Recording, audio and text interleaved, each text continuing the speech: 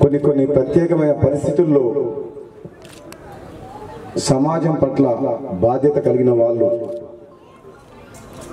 బడుగు బలహీన వర్గాల మీద జరుగుతున్న అన్యాయానికి వ్యతిరేకంగా కావచ్చు.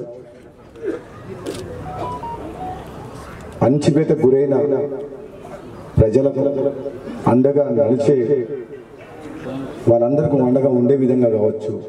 ఇటువంటి వీరమణులు మన తెలంగాణ రాష్ట్రంలో ఆనాడు సాయుధ పోరాటం చేసిన మాట ఈరోజు మనం గుర్తు చేసుకొని వాళ్ళు నిజంగా వాళ్ళు చేసిన త్యాగం వాళ్ళు చేసిన పోరాటం వాళ్ళ ప్రాణం కానీ వాళ్ళ కుటుంబాన్ని కానీ అన్నీ వదిలి ప్రజల కోసం ప్రాంతం కోసం ఏ విధంగా పోరాటం చూస్తుంటే మనం నిజంగా వాళ్ళని స్ఫూర్తిగా తీసుకొని వాళ్ళకు ఈరోజు మనందరం కూడా సమాజం పట్ల ఒక బాధ్యత గల పౌరుగా ఉండాల్సిన అవసరం ఉంది. అదే ఈరోజు మనం విగ్రహం డిస్కషన్ చేసుకున్న చాకలి ఐలమ్మ గారికి నిజమైన నివాళి ఎప్పుడంటే మన కోసం పోరాటం చేసిన వ్యక్తుల కోసం.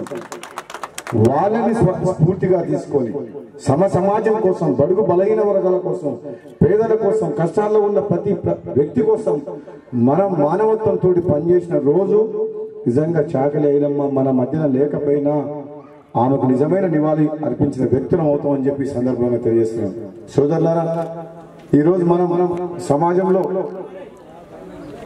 ఎన్నో ఏళ్ళుగా మనం రాజ్యాధికారంలో కొన్ని పార్టీలు ఉంటాయి కొన్ని గవర్నమెంట్లు ఉంటాయి వస్తుంటారు పోతుంటారు పాలకులు ఎంతో మంది ఎన్నో పార్టీలు పదవులలో ఉంటుంటారు కానీ ఇప్పటికి కూడా అట్టడుగు వర్గాల వారు ఎంతో మంది ఉంటందుకు ఇల్లు లేదు తింటందుకు తిండి లేదు ఆసుపత్రికి పోతే దవాఖాన లేదు పక్ష పైసలు ఏమైనా సిచ్యువేషన్ ప్రస్తుత పరిస్థితి ఉంది.